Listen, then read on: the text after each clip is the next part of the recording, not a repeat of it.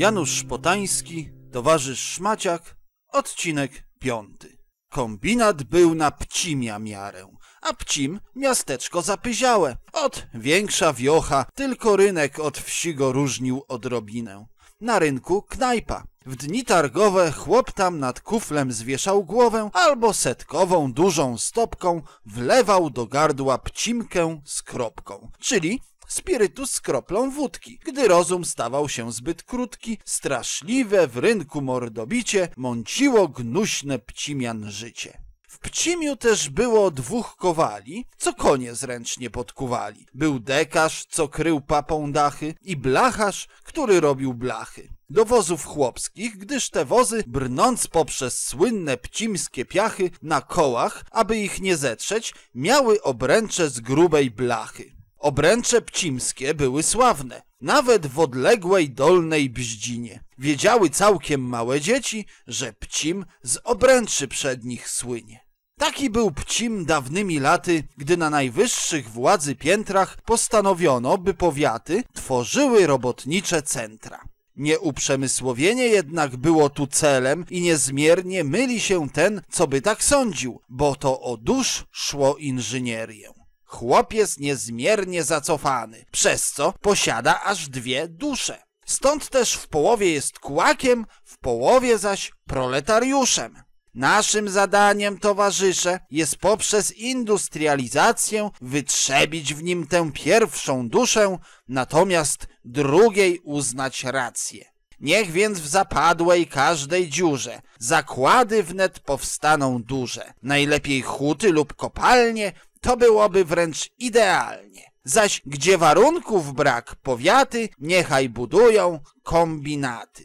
Pcim słynny był z wyrobu serów lecz ser dostarczyć mógłby żeru reakcji, co jest sery w poście. W przemyśle bez wartości ser jest. Postanowiono więc obręczy do kół wytwarzać długie serie. Gdy władzę twórczy szał ogarnie, to nie ma dla niej rzeczy trudnej. Upaństwowiono więc blacharnię, a blacharz poszedł siedzieć w pudle a potem fury pełne cegły, wapna, żelaza i cementu brnęły przez piachy i zaczęto kłaść pod kombinat fundamenty.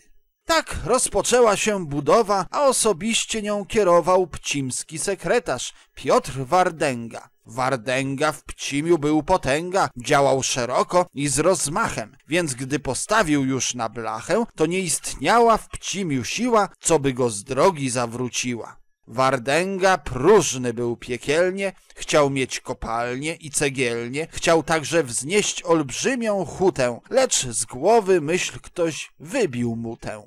Tłumacząc długo, że na furze trudno przewozić piece duże. Ta zaś kopalnia w pcimiu piachu nie potrzebuje wcale dachu. Dał więc Wardęga za wygraną i w rezultacie zbudowano fabrykę gwoździ i wyrobów blaszanych, istny raj nierobów.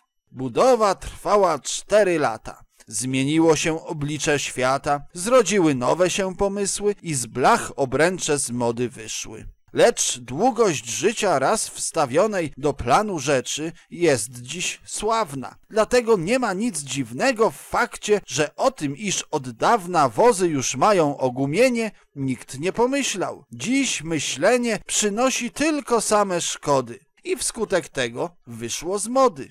Fabryka robi ciągle blachy, na które dawno nie ma zbytu. Jednakże inny jest referat podaży, inny zaś popytu. Wyników ich nikt nie uzgodni, bo ileż by zajęło to dni. Zresztą odnośni referenci są wciąż czymś innym pochłonięci. Produkcja idzie, puchną składy i pcimian strach ogarnia blady. Szczęściem na skutek blach korozji nie doszło w pcimiu do eksplozji. Kiedy się Rurka zjawił w Pcimiu, kiedy zobaczył napis szumny i wszystko, co się pod nim kryło, pomyślał sobie Gwóźdź do trumny, żegnaj kariero, bo w tym grobie kariery nigdy ja nie zrobię.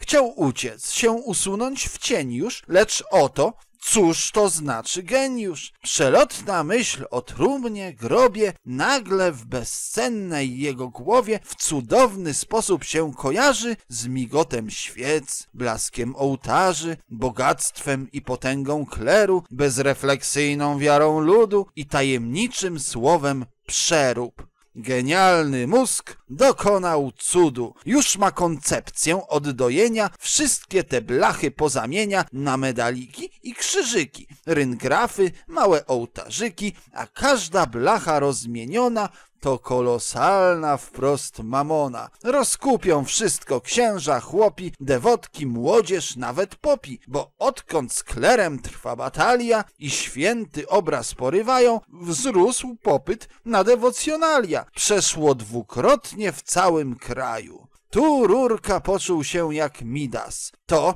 czego dotknie, w złoto zmienia. A choć nie wiedział, kto to Midas, wybornie sztukę znał dojenia.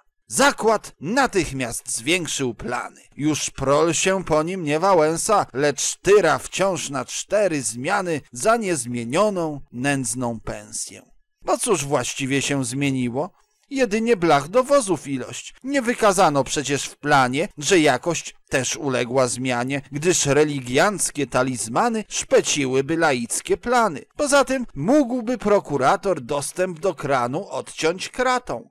Oparty o bezbożną władzę rozwija się interes święty i naszych dzielnych chwatów spółka zgarnia krociowe dywidendy. Ach, nie masz to jak życie w Pcimiu, po prostu istna to idylla. W nowej dzielnicy Zbójnikowo za willą się buduje willa. Powstał też w mieście klub rajdowca, nocny kabaret Czarna Owca i, choć się o tym mało słyszy, przytulny puf dla towarzyszy. Ciąg dalszy nastąpi.